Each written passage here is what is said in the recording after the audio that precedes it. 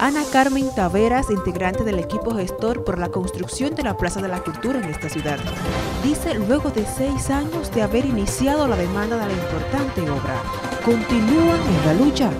Destaca los beneficios que traería consigo la construcción para artistas y jóvenes franco-macorizanos.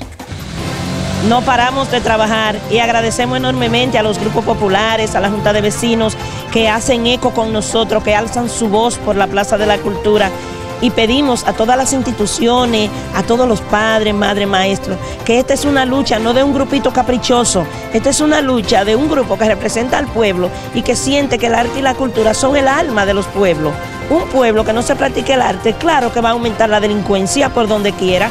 Aunque se ha hablado de destinar un terreno para la obra, hasta la fecha continúan a la espera del inicio de la construcción.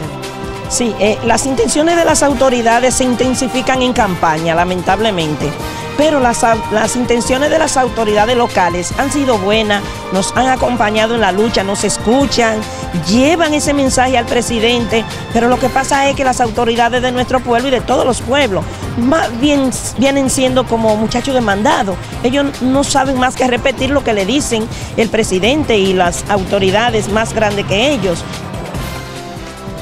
Cordero, NTN, su noticiero regional.